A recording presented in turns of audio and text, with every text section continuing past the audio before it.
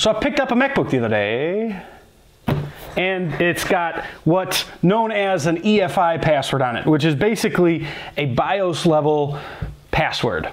Somebody bought this computer and used it and put a BIOS password on it, which I don't know. I bought it off a reseller and I don't know who the original owner was. And that's where we're at today. But there's a solution. For some of these older MacBooks, you can actually replace or even reprogram the original EFI chip, which is this little guy right here. With a little bit of soldering skills and um, actually a hot air machine because a soldering iron, it ain't gonna work. You're gonna just destroy it. So I am at my friend's house. We're going to replace this EFI chip that I managed to pick up a replacement for on eBay for, I think 15 bucks. So let's get to it. So obviously we're gonna start by removing the 10 screws at the bottom of the MacBook, removing the bottom plate, and then we have access to our motherboard.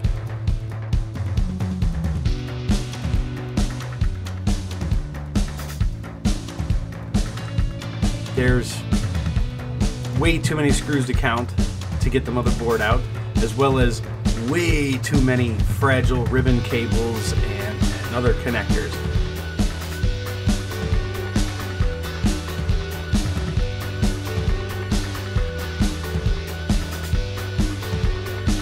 The fan's got to come out, the RAM's got to come out, all sorts of things.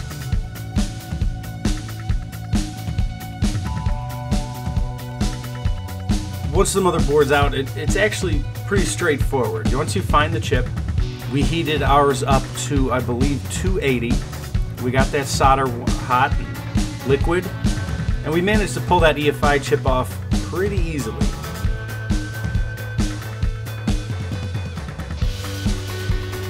Once it was off, we did add a little bit of flux to the board. That's just going to help the solder uh, stick to whatever we put on there.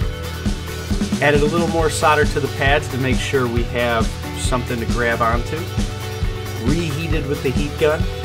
And the important part here is to not lose the chip because we almost did. But the important part here is to line it up the same way. There's actually a little indicator on the chip and the old chip that tells you where pin 1 is. And pin 1's got to go in the same spot, otherwise it's not going to work. So once we had it in place, we removed heat, held it in place as, uh, for a few seconds just to make sure the uh, solder would cool and be solid again. We reheated everything with the soldering iron just to make sure everything was good and solid. The last thing we want is to set this thing down, one of those solder pad breaks, and then we're SOL again. Right back to square one, basically.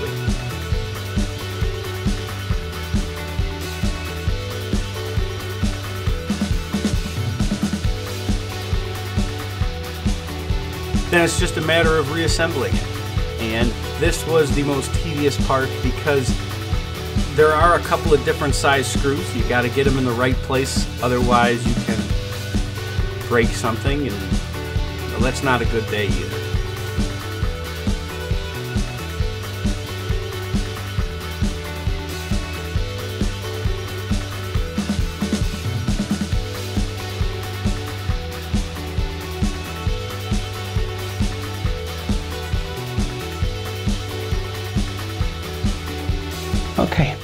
We got we got everything put back together.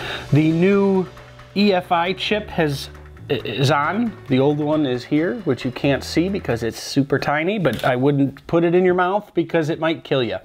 Anyway, Jose, it looks like you did a pretty good job. So we got it all put together. With the new chip though, we do have to reset reset the SMC, which is on this one, uh, Command Option PR. Where's the R?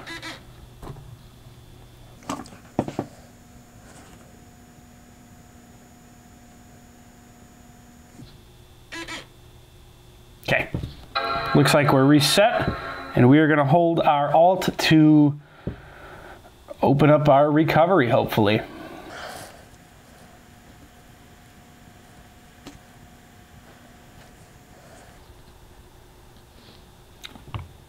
Okay, so this is a 2009 MacBook, which drew a blank on a second ago.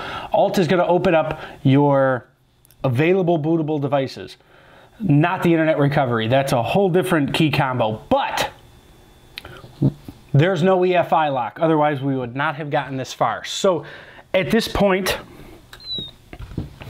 it's just a matter of reinstalling Mac OS because there's nothing on there right now.